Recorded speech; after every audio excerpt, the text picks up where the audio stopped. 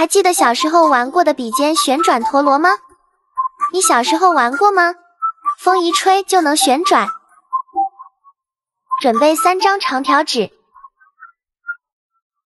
长条两端对折，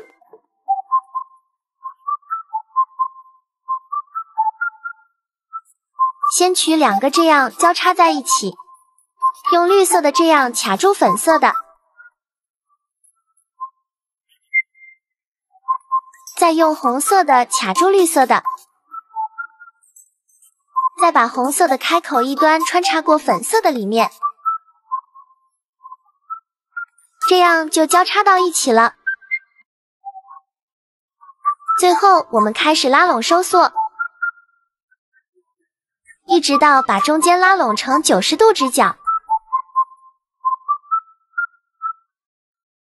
这样就做好了。我们来拿支笔放到笔尖上试一下吧，吹口气就能旋转。有谁玩过？请在评论区告诉我吧。